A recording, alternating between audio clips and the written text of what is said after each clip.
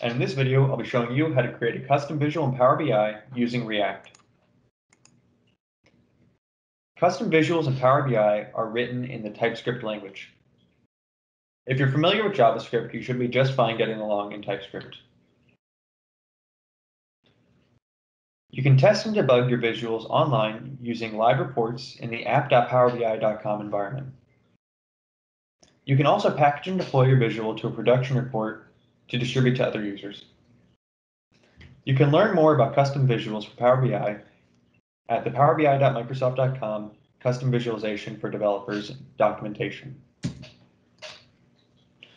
To get started, ensure you have Node installed on your machine. Then navigate to your project directory and run the npm install command for Power BI Visual Tools. Once Power BI Visual Tools are installed, run pbiviz new and then your project name. In this case, the project name would be demo project. Then run pbiviz start. This will start your custom visualization in the local host. To debug your visualization, you can now go to app.powerbi.com and create a new report or use an existing one and add the developer visual to the report. To add React elements to this custom visual, you'll need to install React and React DOM. Import React and React DOM into the visual.ts file, file or whatever file you'll be using to render the HTML elements to the DOM. Create a React element within the visual.ts class. Also create a DOM element in the visual.ts class and add an element to the DOM that is referenced by this element.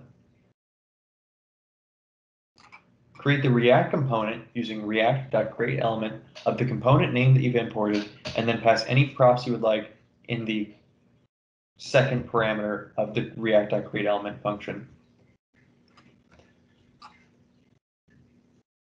Then you can finally add the React element to the DOM by using react DOM.render, and then you'll reference the React component that you've built and the HTML element on the page that you would like to add the React element to.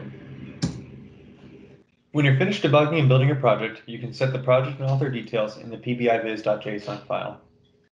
Then run the pbiviz package command to generate a .pbiviz file to import into your Power BI report. Once the .pbiviz file is generated, Go into your report and import a visual from file. Select the visual and add the data you would like to add to your visual and configure the settings that you had previously. And there you have it. You've created a custom visual in Power BI using React. Thanks so much for joining me, and I'll see you guys next time.